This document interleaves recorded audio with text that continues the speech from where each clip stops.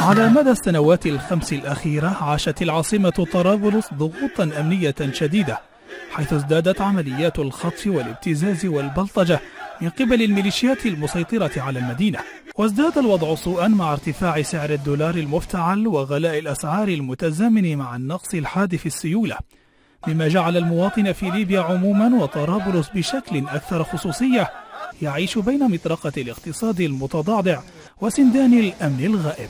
لذلك خرجت دعوات بالعاصمة طرابلس ومدن غرب ليبيا للدخول في عصيان مدني قد يغير الوضع ويكسر عنجهية المسيطرين على العاصمة حيث أعلنت عدد من المؤسسات الخدمية استجابتها لدعوات العصيان منها جامعتي طرابلس وناصر اللتان أعلنتا دخولهما في العصيان المدني الذي دعت له عدد من منظمات المجتمع المدني والنشطاء احتجاجا على تردي الأوضاع الأمنية والمعيشية.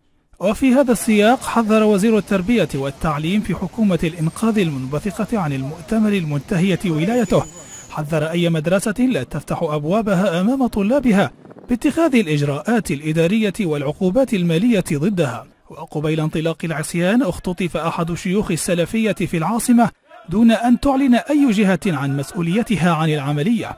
ولكن ما يثير التساؤل هو حدوث هذه العملية بعد أن حذر المفتي المعزول الصادق الغرياني دعاة السلفية من اعتلاء المنابر ووصفهم بالفئة الضالة واتهمهم بالموالاة للغرب.